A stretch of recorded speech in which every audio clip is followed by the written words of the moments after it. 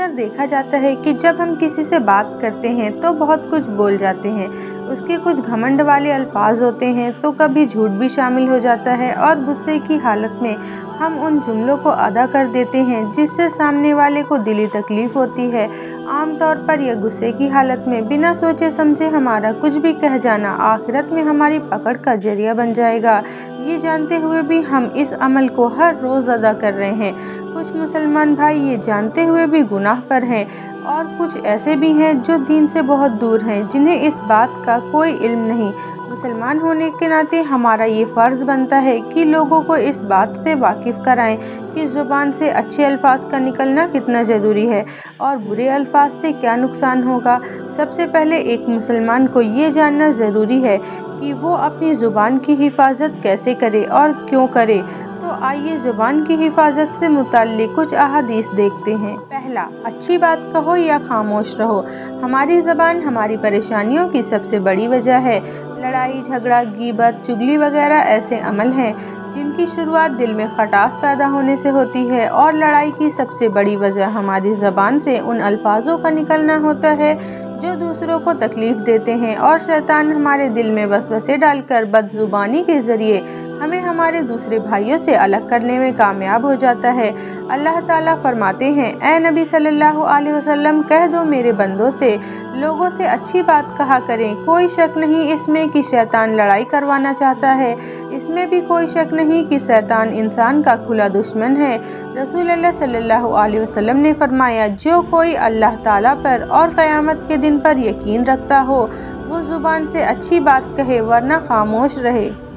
दूसरा है निजात। अगर हम अपनी ज़बान पर काबू पाने में कामयाब हो जाते हैं तो बहुत से गुनाहों से बच जाते हैं, जो हमारी निजात का ज़रिया बनते हैं। नबी करीम सल्लल्लाहु अलैहि वसल्लम से सवाल किया गया, निजात क्या है? आप सल्लल्लाहु अलैहि वसल्लम ने फरमाया, ज़ुबान को काबू में रखो, बिला ज़रूरत घर से ना निकलो। और अपने गुनाहों पे आँसू बहाओ। तीसरा है, जन्नत की ज़मानत। जब ज़ुबान से अच्छे अल्फाज निकलते हैं तो लड़ाई झगड़े की कोई वजह नहीं रह जाती। इंसान बाकायदगी से सिला रहमी करता रहता है। अगर कोई लड़ना भी चाहे या बुरा भला कहे तो उसे बड़े प्यार से समझा के शांत करा दिया जाता है। ना कोई फसाद होता है, ना कोई गुनाह, जिससे जन्नत से महरूमी हो। नबी सल्लल्लाहु अलैहि वसल्लम ने फरमाया जिसने अपने दोनों जबड़ों और दोनों टांगों के दरमियान की चीज़, यानी ज़ुबान और शर्मगाह की ज़मानत दी।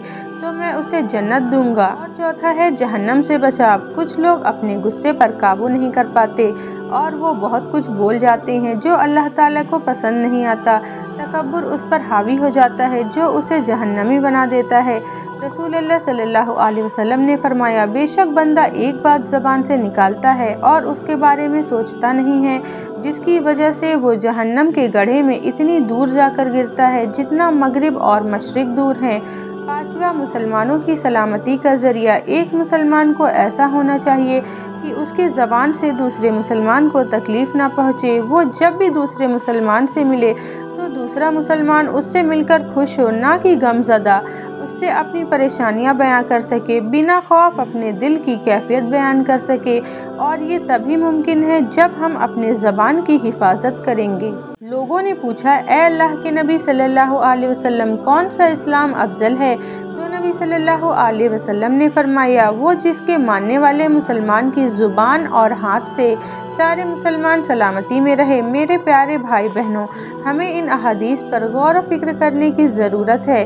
जैसा रवैया हम दूसरे मुसलमान के साथ इख्तियार करे बैठे हैं, वो हमें जन्नत से दूर और जहन्नम का ईंधन बना रहा है। अभी वक्त है, पता नहीं कब मलिकुल मौत हमारी रूह कब्ज़ कर ले जाए और हमें तौबा भी नसीब ना हो। अल्लाह ताला हमें अपने ज़बान की हिफाजत करने की तोफ़ी अता करे, हिदायत दे, अमल सालह करने वाला और एक नेक मुसलमान बनाए।